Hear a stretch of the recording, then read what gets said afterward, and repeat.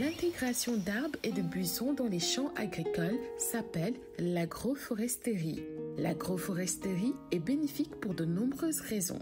Permettez-nous de vous présenter quelques-uns des avantages de l'intégration des arbres dans les champs de culture. L'agriculture dans la zone du Sahel est confrontée à la dégradation des sols et à la menace de la désertification. Cependant, de nombreux producteurs ont appliqué avec succès certaines bonnes pratiques qui peuvent les aider à faire face à ces défis environnementaux.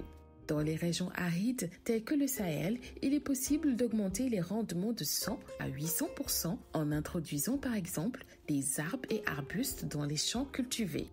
Examinons donc une exploitation agricole où toutes ces meilleures pratiques sont intégrées pour améliorer la réussite des producteurs.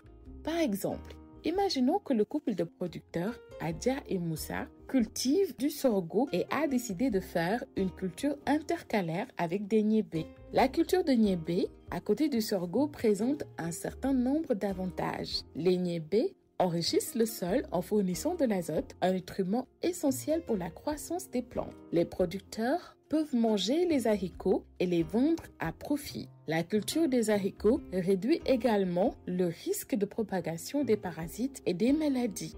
De plus, même si la récolte de sorgho est mauvaise, les producteurs peuvent toujours récolter leurs haricots. Les producteurs ont planté des arbustes de Gliricidia à côté des niébés et du sorgho. Ces arbustes font partie de la famille des légumineuses et fournissent de l'azote au sorgho. Pendant la saison sèche, les arbustes comme le guéra capturent les eaux souterraines avec leurs racines profondes, les libérant lentement à la surface et les rendant disponibles pour les cultures. Les feuilles des arbustes peuvent être facilement coupées et étendues pour couvrir le sol, améliorant ainsi la structure et la fertilité. Le couple de producteurs peut également utiliser les feuilles pour nourrir les animaux pendant la saison sèche. La famille a choisi une clôture vivante faite d'arbustes de Piliostigma pour empêcher les animaux d'entrer dans la ferme. La clôture empêche les animaux de pénétrer dans le champ et de manger les récoltes. En outre, les gousses de Piliostigma constituent un excellent complément pour les animaux, en particulier pendant la saison sèche. Adja et Moussa ont choisi de conserver les arbres existants sur leur ferme. Ils produisent le précieux beurre de karité à partir de l'arbre à karité. À côté, l'acacia albida est également précieux. Pendant les saisons sèches, les moutons et les chèvres mangent ses fruits et ses feuilles. Lorsqu'il pleut, l'acacia albida perd ses feuilles, ce qui favorise la croissance du sorgho.